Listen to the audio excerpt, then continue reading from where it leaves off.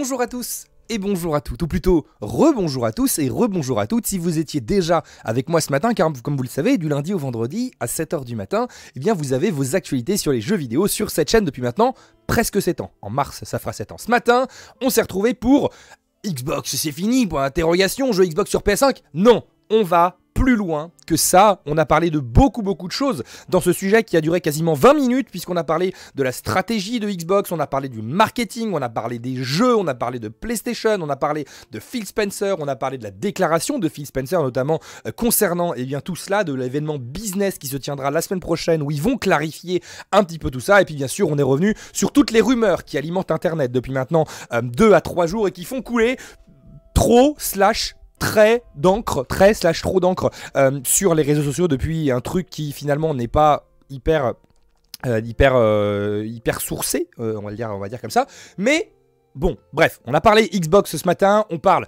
PlayStation ici, malgré ma voix un petit peu cassée, puisque je, sors d'une maladie, voilà. Euh, et on parlera également Nintendo euh, en fin de journée, vous verrez, il y aura pas mal de choses euh, à en dire également. Mais ce matin, et eh bien du coup, après Xbox, on place à PlayStation avec trois actualités différentes. La première, c'est la tenue du State of Play ce soir, histoire de vous le rappeler, que vous ne puissiez pas oublier. Il y a eu un State of Play la semaine dernière, l'événement en direct de PlayStation qui nous a présenté pas mal de choses, dont Death Stranding 2, le magnifique. Et eh bien là, ce soir, à minuit et demi, dans la nuit de mardi à mercredi, PlayStation remet le couvert avec notamment eh bien, un State of Play consacré à Final Fantasy VII Rebirth. Alors ils disent bien consacré à FF7, c'est-à-dire qu'il n'y aura pas d'autre chose. Si vous en avez cure eh bien, de FF7, ça ne sert à rien de le regarder. Si vous avez envie d'avoir des news sur FF7, eh bien, ça se passera ce soir à minuit et demi.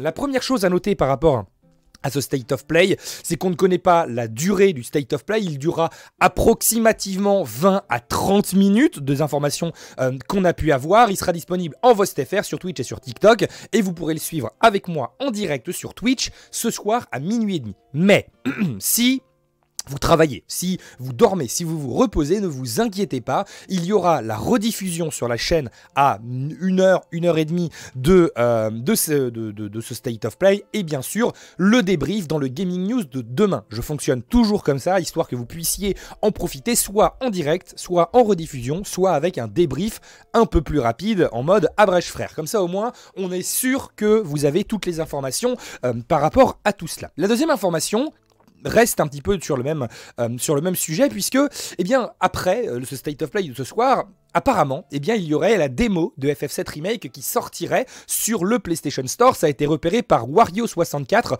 que vous connaissez peut-être, puisque eh bien, c'est un, c'est un tweetos euh, que non, qu'on en a l'habitude d'aller voir un petit peu. Il a pas mal d'informations. Il a 1,1 million d'abonnés. Il a également euh, énormément d'infos, énormément de leaks et il partage beaucoup beaucoup de choses. Et là, eh bien, il a repéré ça sur le PlayStation Store. D'ailleurs, ça a été partagé par Video Games Chronicles qui explique qu'effectivement, euh, 64 l'a repéré. Une vidéo soit apparue sur le PlayStation Network informant le joueur qu'une démo du jeu est maintenant disponible. Alors, je vous mets le lien du tweet si, si jamais ça vous intéresse de Mario 64 pour que vous puissiez aller voir cette bande-annonce. Je ne vais pas la mettre en grand écran euh, là, c'est juste histoire de donner cette information. Mais en gros, voilà, vous auriez, alors, de ce que je, vois à peu près de cette démo, ça serait ce qu'on a déjà testé nous en tant que euh, testeurs, journalistes, influenceurs, etc. Euh, qui sera disponible. Donc si jamais vous avez déjà regardé ma preview que je vous avais déjà fait il y a maintenant quelques semaines, apparemment vous pourrez jouer à ce qu'on avait fait nous. Donc déjà, ça a l'air d'être une, une bonne chose quand même, histoire de le prendre un petit peu en main, c'est-à-dire les abords de Junon euh, pour pouvoir avoir un petit peu de gameplay avec Cloud, Sephiroth, mais également, euh, mais également les autres personnages. Donc voilà, c'est plutôt, c'est plutôt cool comme information. Et si c'est vrai, et en même temps, je vois pas pourquoi ça serait pas vrai, puisqu'il est marqué Play the demo et comme le dit Video Games Chronicles, pour l'instant, c'est pas dispo. Bah, euh, ça me semblerait assez logique. Et puis voilà, soyons francs aussi. Je pense que Square Enix est assez, est assez est assez confiant avec son FF7 Rebirth. Il l'avait déjà été avec FF7 Remake qui s'est très très bien vendu. Donc là, voilà, je pense qu'ils sont assez confiants, ils ont beaucoup de choses à dire, beaucoup de choses à montrer, et je pense qu'ils y, croient euh, vraiment après, après FF16. Donc on verra un petit peu ce qui va se passer de ce côté-là. Et la troisième, et, et, et, et, et, J'essaie de, récupérer ma voix petit à petit. La troisième information concerne la PlayStation 5. Oui, effectivement, une nouvelle mise à jour de la PlayStation 5 arrive en bêta. Ça va commencer aujourd'hui et elle sera disponible petit à petit sur toutes les machines de tous les pays. On a des participants qui ont été invités dans certains pays, je ne l'ai pas été, mais peut-être que vous l'avez été ou que vous le serez, vérifiez euh, vos mails, il y a pas mal de choses qui vont arriver. Alors si effectivement on sait qu'en termes de jeu, il y a The Last of Us Part 2 Remake qui vient d'arriver, enfin Remastered, Tekken 8, Helldivers 2 qui arrive dans pas longtemps d'ailleurs, on va pouvoir en faire euh, dans pas longtemps sur la chaîne, vous verrez, ça va être très très cool. Eh bien, on a plusieurs fonctionnalités qui vont être améliorées avec cette bêta, euh, notamment eh bien l'amélioration audio du micro et du haut-parleur intégré au contrôleur sans fil DualSense. Je rappelle aussi, soit dit en passant, qu'il y a une nouvelle DualSense qui est sortie il y a maintenant 10-15 jours, la DualSense V2 avec eh bien une meilleure batterie que la première et qui en fait dans vos stocks de magasins eh bien ne change rien, vous le voyez même pas, c'est juste affiché en tout petit derrière. Mais oui, une nouvelle DualSense est disponible depuis quelques temps sur le marché. Donc amélioration du haut-parleur, du contrôleur, peuvent désormais produire un son à volume plus élevé, vous permettant d'entendre plus clairement les sons du jeu et le son du chat vocal. Ça, c'est plutôt une bonne nouvelle. Suppression du bruit améliorée. La qualité de l'entrée micro sur ces contrôleurs a été améliorée grâce à un nouveau modèle d'apprentissage automatique IA. Décidément, l'IA est vraiment partout euh, ces derniers temps. Mise à jour, vous avez peut-être l'impression que les sons provenant du haut-parleur de votre manette sont plus forts. Vous pourrez régler le volume du haut-parleur depuis le centre de contrôle. Ça, c'est plutôt une bonne chose, puisque moi j'aime bien d'ailleurs qu'on ait un petit peu de son dans la manette, même si, bon, euh, clairement aussi ça fait, euh, ça fait chuter la batterie, c'est quand même assez, assez chouette dans, certains jeux. Partager les interactions sur l'écran. Oui, il y a des nouveautés sur le share screen. En mode plein écran, peuvent désormais utiliser des pointeurs et des réactions emoji pour interagir avec le gameplay de l'hôte. Le spectateur peut déplacer un pointeur, envoyer un ping ou tracer une ligne sur l'écran partagé, ce qui leur permet de mettre en évidence certains objets ou zones pour guider le joueur hôte avec plus de précision. Alors, petite précision par rapport à cette information.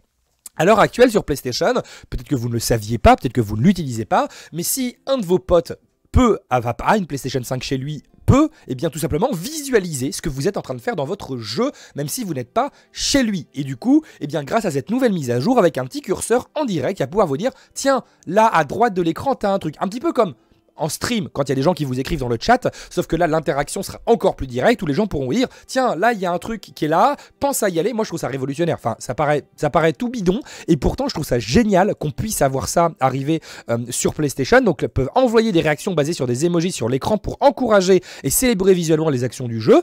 Donc ça c'est quand même cool parce que ça veut dire que je pense que sur les diffusions euh, Twitch, on aura peut-être cette possibilité là. Fonctionnalité disponible par défaut mais peut être désactivée par l'autre dans les paramètres de partage d'écran. Alors c'est marqué partage d'écran. Je sais pas du tout, c'est ce que je disais à l'instant, je sais pas si ça sera disponible euh, sur, le cast de la, PlayStation 5 sur Twitch.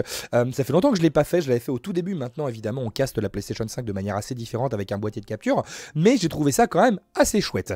Ajuster la luminosité de l'indicateur d'alimentation PS5. Et ça, c'est cool pour pas avoir pas avoir de lumière trop dans le salon. Donc, accéder à paramètres, système, bip et lumière, puis sélectionner luminosité, puisque oui, vous pouvez aussi virer le bip de démarrage de votre console.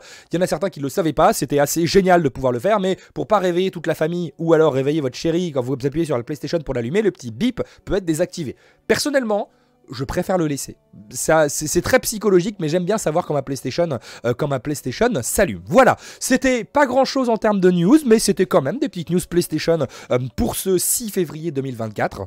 J'espère que ça vous aura plu et intéressé. Et n'hésitez pas encore une fois si ça veut bien apparaître à aller voir eh bien, le Gaming News de ce matin. Et on se retrouve bien sûr en fin de journée pour du Nintendo, vous verrez il y a beaucoup de choses à dire. Des bisous, prenez soin de vous, passez une bonne journée, c'était EMB, salut salut